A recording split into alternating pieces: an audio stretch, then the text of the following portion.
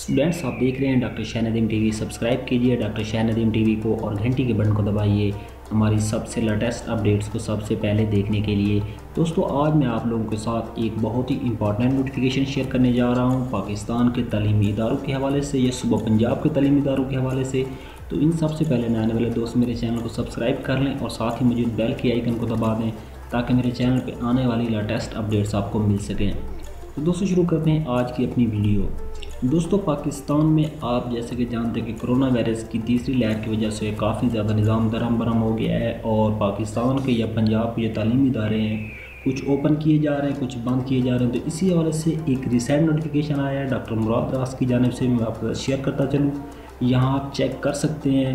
انہوں نے یہ نوٹیفیکیشن دیا ہے پبلک اور پریویٹ کالجز کے لیے کہ کچھ جو ڈسٹرک ہیں، ان میں کافی زیادہ کرونا پھیل گیا ہے۔ تو ان میں جو ہے چھٹیوں کا اعلان کر دیا گیا ہے۔ انہوں نے کہا ہے کہ اس علاقوں میں بہت زیادہ کرونا ہو گیا، جس میں انہوں نے کلیری طور پہ مینشن کیا اوکاڑا جھنگ خانے وال اور بکر۔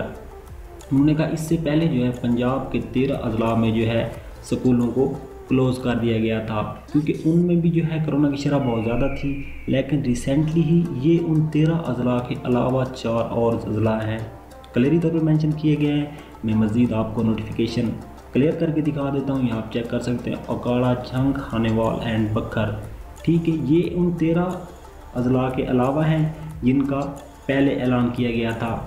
اور یہ اضلاع چھ اپریل کو جو ہے اعلان کردہ تیرہ اضلاع کے علاوہ ہیں، جہاں کرونا کے بے سکول کو بند کیا جا رہا ہے۔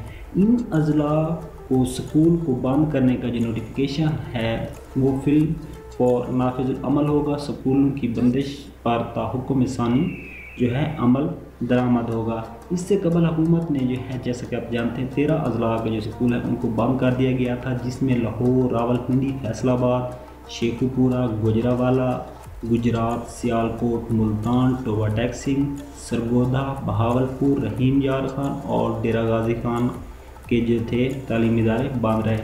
دوسری جانب جو ہے، حکومت نے انیس اپریل بروز پیر سے جو ہے، نامی سے بارہویں جماعت کے لیے، طالبہ کے لیے سکول اور کالجز اوپن کر دیے ہیں۔ جیسا کہ آپ جانتے ہیں کہ اوپن ہو گئے ہیں، سکولوں کو ہفتے میں دو روز پیر اور جمعرات کے لیے کھولا گیا ہے۔ تاہم، جو سکول میں اسٹاف کو مجبوری طور پر بلایا جا رہا ہے، جس سے غیر متعلقہ اساتذہ کے جو ہے، متاثرہ ہونے کا خطرہ بھی ہے۔ اور کرونا پھیلنے کا خدشہ بھی ہے۔ اس کے علاوہ وزیر عمران خان کی زیر صدارت قومی رابطہ کمیٹی برائے انسداد کرونا کے اجلاس کے بعد جو ہے، میڈیا بریفنگ میں اسد عمر نے بتایا ہے کہ قومی رابطہ کمیٹی نے پانچ فیصد سے زائد کرونا کیسز والے تمام جو اضلاع ہیں، اس میں جو ہے سکول بند کرنے کا کہہ دیا ہے۔ اسی لیے انہوں نے جو ان اضلاع میں جو ہے چھٹیاں کر دی ہیں اور ادارے بند کیے جا رہے ہیں۔ جن شہروں میں جو ہے کرونا کی شرح زیادہ ہوگی، وہاں نویں سے بارہویں جماعت کی کلاسز عید تک بند کر دی جائیں گی اور لاک ڈاؤن اور سکولوں کی بندش کا صوبوں کے ساتھ مل کر پلان بنائیں گے۔ تو اسی کے ساتھ ملتے ہیں اپنی نیکسٹ ویڈیو میں۔ اللہ حافظ۔